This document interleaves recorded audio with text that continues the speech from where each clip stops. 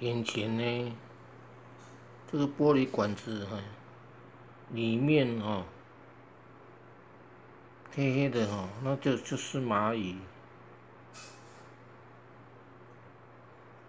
那我，那我也呢哈，尽量让蚂蚁有个舒适的环境，属于较适合它们的环境哈。之前呢，有讲过哈，蚂蚁在巢里面呢，是属于比较湿气，所以呢，后面有水，这个是网子哦，就是制造一个哈，让他们舒服。哦，适合他们的环境哦，但是现在发现到呢，蚂蚁不太动，我也有准备东西有哦，虽然不是做的很好的一个石石器哦，就是放水哦。这边是放水，这边是放食物，但是显然蚂蚁呢不赏脸，哦，哦，那蚂蚁呢都没有在动，那当然我们要观察为什么没有在动，哦，那蚂蚁呢，哦，群居生活，你看，哦，这边都聚在一起，哦，那。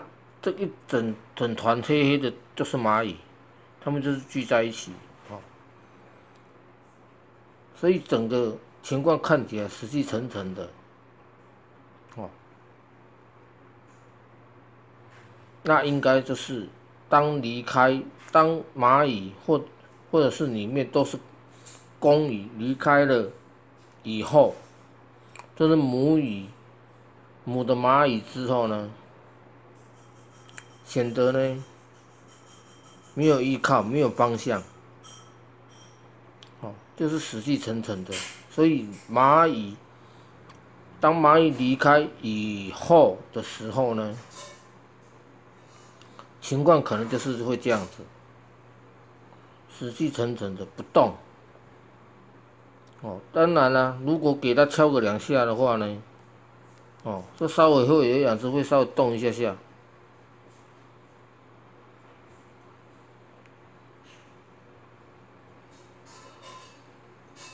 哦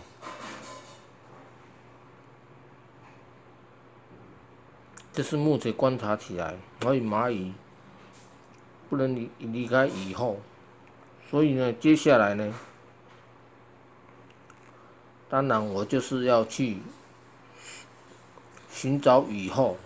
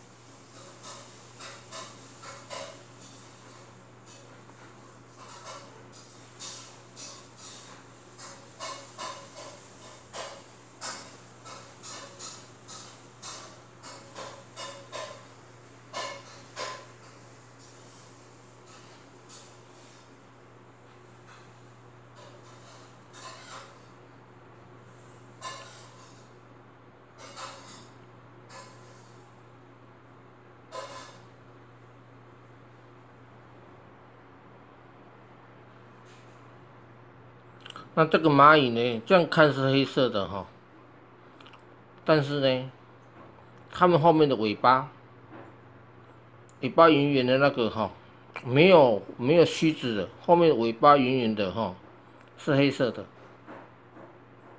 它前面有点咖啡色，前面是有点咖啡色，哦。那目前因为不晒。自从有话也住户啊，哦，带回来，所以非常小只。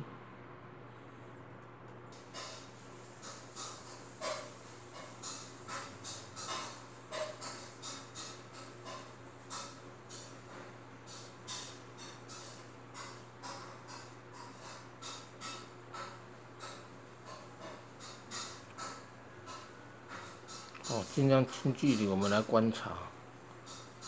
总长连在须子总长不到零点五公分。哦。